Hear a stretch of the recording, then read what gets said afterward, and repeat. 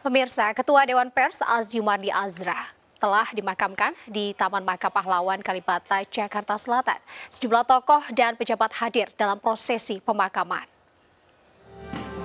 Jenazah Ketua Dewan Pers Profesor Azjumardi Azra tiba di Taman Makam Pahlawan Kalibata pukul setengah sembilan pagi.